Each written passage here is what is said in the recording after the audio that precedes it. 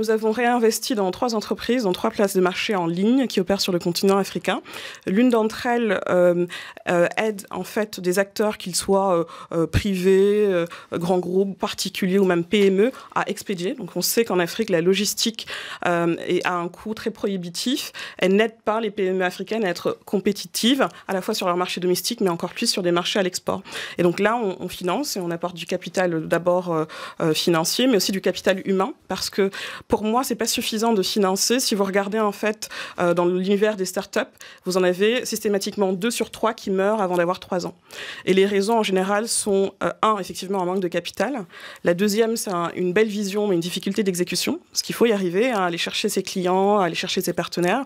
Et la troisième, c'est de ne pas avoir trouvé, on va dire, sa preuve de concept, c'est-à-dire il y a aucun problème qui est résolu par la, solution qui est proposée ou aucun besoin.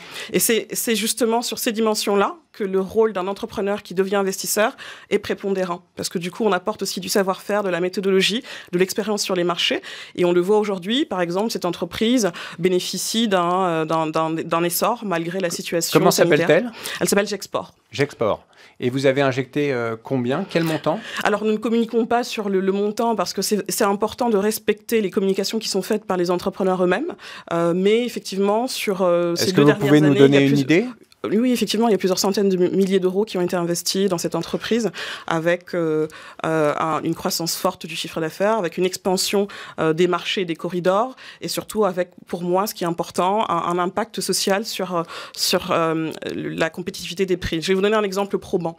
En Côte d'Ivoire, on, a réuni un groupe de, PME lorsqu'on voulait faire cet investissement pour un peu comprendre à quel point cette question des coûts logistiques était, était essentielle ou pas. donc ça a été avec d'ailleurs le ministre de de, de, l'industrie de la promotion des PME, ils ont identifié des PME prêtes à l'export, mais qui ne franchissaient pas le pas. Donc 55% d'entre elles, euh, pardon, elles ont indiqué que leur coût logistique représentait 55% de leur coût de marchandises. Donc à partir de là, vous ne pouvez pas être compétitif. Aux États-Unis, les coûts logistiques représentent entre 6 et 7 des coûts de marchandises.